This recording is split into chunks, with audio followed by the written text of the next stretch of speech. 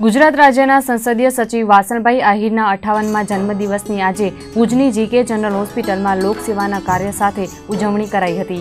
સંસદીય સચિવ અને શુભેચ્છકોના હસ્તે હોસ્પિટલના દર્દીઓને ફ્રૂટ વિતરણ કરવામાં આવ્યું હતું. ભુજની જીકે જનરલ હોસ્પિટલ ઉપરાંત ગાંધીધામની રામબાગ હોસ્પિટલ, અંજાર અને દુધઈની હોસ્પિટલમાં પણ પરિવારજનો અને શુભેચ્છકોના હસ્તે આ પ્રકારનો ફ્રૂટ વિતરણનો કાર્યક્રમ યોજાયો હતો.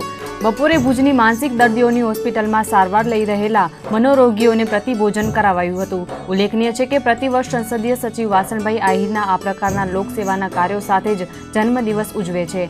લોકસેવાના કાર્યોથી જીવનમાં નવી ઉર્જાનો સંચાર થતો હોવાનું સંસદીય સચિવે જણાવ્યું હતું. આજે મારા અઠાવન વર્ષ પૂર્ણ થઈને ઓગણસાઠમાં વર્ષમાં પ્રવેશી રહ્યો છું. કડિયા ઠાકોરની આપ સૌના બધાના વડીલોના આશીર્વાદના કારણે. જાહેર જીવનમાં આવતાની સાથે લગભગ પાંત્રીસ વર્ષ જેવો સમય થઈ ગયો. અને ત્યારથી આ એક પરંપરા ચાલી આવે છે. વીસ વર્ષથી હું વિધાનસભાના સભ્ય તરીકે પ્રતિનિધિ કરવાની મને તક મળી છે. ત્યારે દર વર્ષે આ જ રીતનો જન્મદિવસ ઉજવવાનો એક મારો સંકલ્પ હોય છે. એટલે આવા જ કાર્યોના કારણે મારી બેટરી હંમેશા માટે રિચાર્જ થતી હોય છે. દિવસમાં એક દિવસ વર્ષમાં એક દિવસ આ બેટરી ચાર્જ થાય એટલે ફરી પાછી ક્યારે વાંધો આવતો નથી. હું આજના અઠ્ઠાવન વર્ષ પૂરા કરી અને ઓગણસાઠમાં વર્ષમાં પ્રવેશ કરતા અંજાર વિસ્તારના ધારાસભ્ય અને ભુજ વિસ્તારના પૂર્વ ધારાસભ્ય ને સરકારમાં સંસદીય સચિવ શ્રી વાસણભાઈ આહિર સાહેબને આજના દિવસે શુભેચ્છાઓ પાઠવું છું.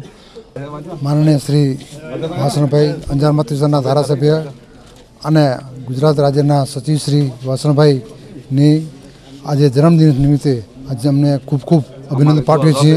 અને અમારે મારી સૌની દુઆ છે કે હંમેશા આવા પ્રોગ્રામ કરતા રહે અને એમના હજારો સાલ જીએ એવી અમારી દુઆ છે.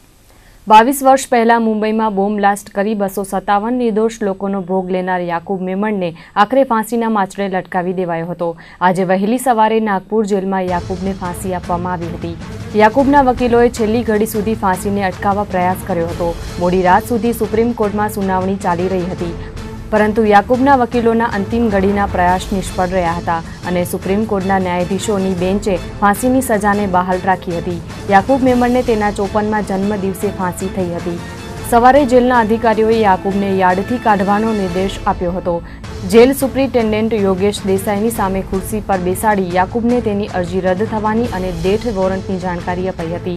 યાકુબે તેના ભાઈને પોતાની પત્ની અને દીકરીનું ધ્યાન રાખવા જણાવ્યું હતું, જે યાકુબના અંતિમ શબ્દો હતા. સવારે સાત વાગે યાકુબને ફાંસી અપાઈ હતી. ફાંસી અપાયાના દસ મિનિટ બાદ તબીબોએ તેને મૃત જાહેર કર્યો હતો. અંતિમ વિધિ માટે યાકુબનો મૃતદેહ પરિવારજનોને સોંપવામાં આવ્યો છે.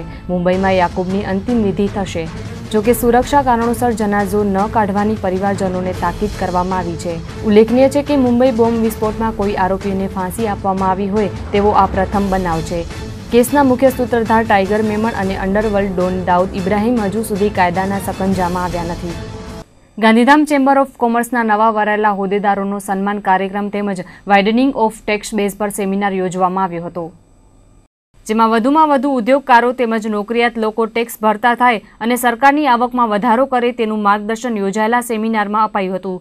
આયકર વિભાગના ઉચ્ચ અધિકારીઓએ સેમિનારમાં ઉપસ્થિત રહીને ઉદ્યોગકારોને સંબોધન કર્યું હતું. તો હાલમાં જ નવા વરાયેલા ચેમ્બરના પદાધિકારીઓનું સન્માન પણ કરવામાં આવ્યું હતું. આ પ્રસંગે આયકર વિભાગના additional commissioner Lalit Jain, chamber of કોમર્સના પ્રમુખ દિનેશ ગુપ્તા, ઉપપ્રમુખ બાબુભાઈ હુંબલ, માનદ મંત્રી મુરલી જગાણી, સહમંત્રી આશિષ જોશી કોષાધ્યક્ષ રેવાભાઈ કલવાણી ઇન્કમટેક્સના અનિલ વઢવાણ, દિલીપ કુમાર, સોનમ કુમાર વગેરે ઉપસ્થિત રહ્યા હતા.